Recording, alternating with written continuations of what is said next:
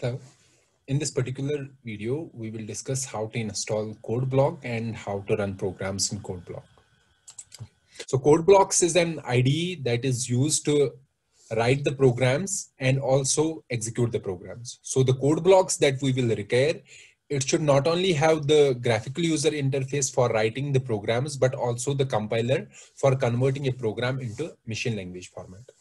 So we will be using code blocks. So go to this website, codeblocks.org.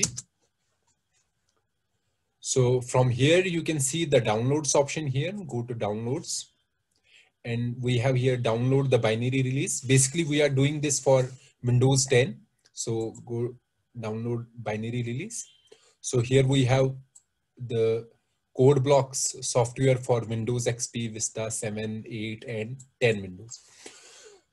So we require not only code blocks, but also it should have associated compiler for converting a high level program into low level program. So from here, you can see that we have here code blocks 20.03 mingw setup.exe. It includes these compilers. GCC, it is a compiler. G++ is also a compiler and GFortran is also a compiler. And GCC will be a compiler used for converting C programs into executables. So we will download this particular version of code blocks. So it is here. So go to these, uh, these are the two websites from which you can download this particular software. So let's go to Source, SourceForge. So here it will automatically download this particular software. So your download will start here. Since I have already downloaded it, let's directly go there. So it is available in my downloads. So you can see here downloads. So I have here code blocks, this particular uh, setup downloaded here. So I will install this. So let me run this. So yes.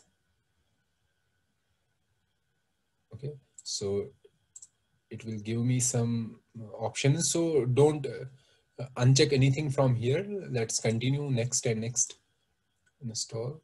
So since it is giving me some uh, this warning here, basically I have already installed it. So you will go on next and next and your software will be installed and it will be available here on your desktop. So this is code blocks. So from here, you can directly run this or let's go into the code blocks. So here, so we have to write a C program. There are different, I said that code blocks is used for different programming languages and our job is to write C programs and to test those programs in our code blocks. So what we are going to do, we will do create a new project.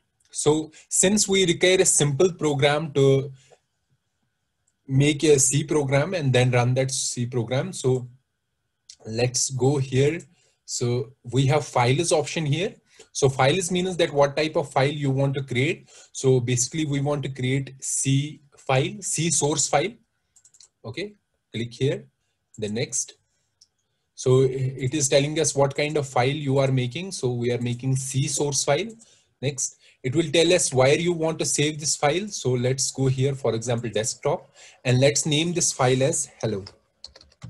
So every C file, it will have an extension, source file, hello.c. Okay, so every C file, hello.c. So I'm writing hello here, but on the desktop, it will be hello.c. So save, so finish.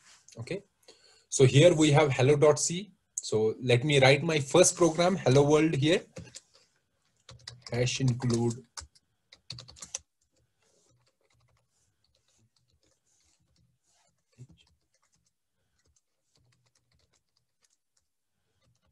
So you don't have to worry about these things here. I am just writing the first program.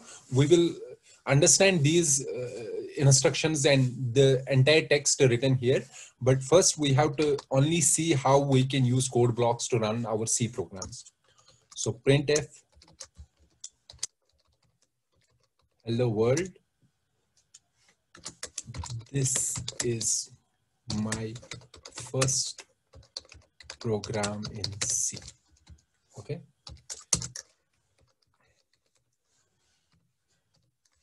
Fine so we have written this program so we have to save this program save So it has been saved.